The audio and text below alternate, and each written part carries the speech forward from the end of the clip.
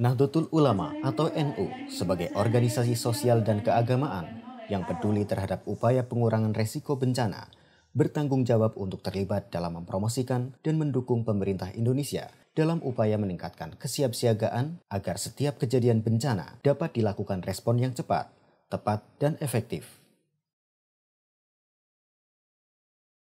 Dukungan NU terhadap penanggulangan bencana diwujudkan dalam bentuk apel dan simulasi penanganan kejadian bencana yang dilaksanakan oleh Lembaga Penanggulangan Bencana dan Perubahan Iklim Nahdlatul Ulama atau LPBI NU melibatkan 1,5 juta pelajar dan santri.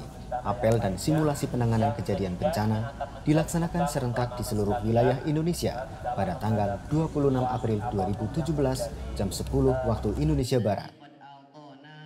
Seperti di kota Tangerang, Kegiatan apel dan simulasi gempa bumi dilaksanakan di Pondok Pesantren Asidikiyah 2, Batu Ceper, Kota Tangerang, melibatkan 1.300 santri dan pelajar di pesantren tersebut.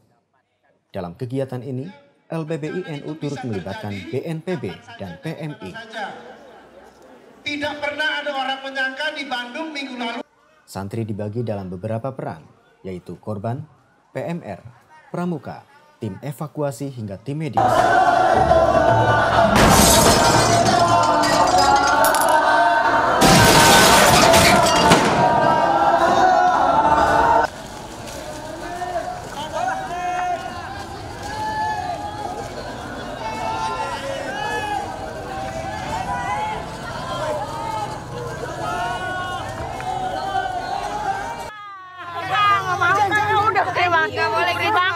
Banget kamu.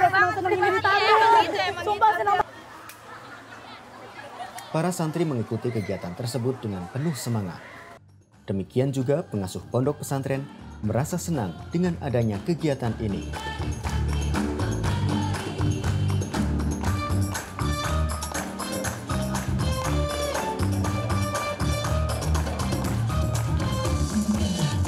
Kegiatan ini diharapkan dapat meningkatkan kemampuan santri sebagai salah satu komponen bangsa dalam menghadapi setiap ancaman bencana, sehingga risiko dan dampak bencana dapat diminimalkan dan Indonesia menjadi bangsa yang tangguh bencana.